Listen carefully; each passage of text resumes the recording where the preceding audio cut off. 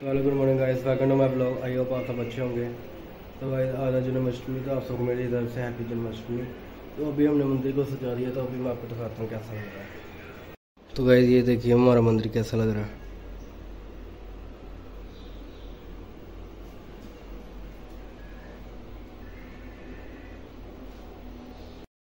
एक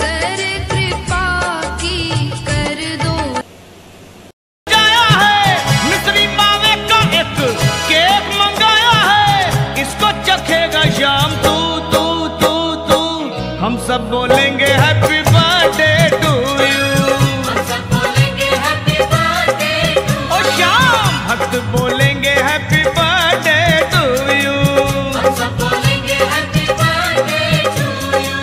रंगी गुब्बारों से मंडप सजाया है।